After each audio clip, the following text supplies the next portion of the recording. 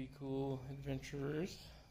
Got another upgrade, and that is a two or three millimeter front rotor, and that would be upgraded from the 180 that it came with for increased stopping power. And this also meant I had to change this to the uh, two or three style. That's it mounted. It's just fine. Looks very different. Um, so,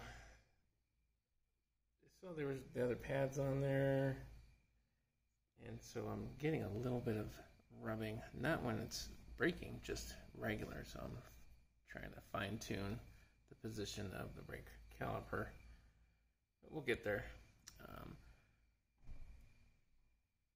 I just realized the old rotor does not have a rotation arrow.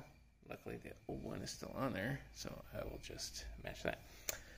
But this is going to go on the wife's B, which came with 160s. Now, why did this come with 160s? I do not know. But we will go ahead and upgrade that to 180 and uh, possibly get another one for the rear. Or upgrade her to a 203 and put this on the rear. Actually, that's what I was going to do. I'm going to get a new 203, another adapter, and then upgrade the rear. All right. So that's that. Just got to figure out how to get this this guy to stop squeaking on me. That was an Amazon purchase. Terribly expensive.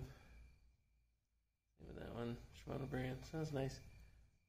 And uh Seems like it should stop better. I think it's a part seating the pads as well as maybe I don't have them bled correctly, so I'll do a bleeding video of things I've learned. All right, cheers.